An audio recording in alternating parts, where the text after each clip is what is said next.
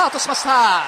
外の各馬好スタートですが7番のモズスーパーフレアやはり出ていきました。早くも2馬身抜け出します。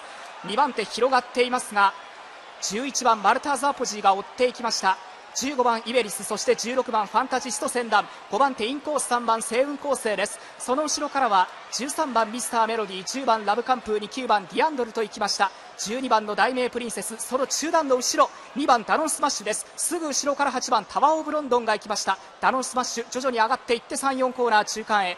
後方にかけて4番のリナーテ6番ノーワン。そして1番アレス・バローズ並んでいった5番のレッツゴードンキ後方に3頭目。最後方14番ハッピーアワーです。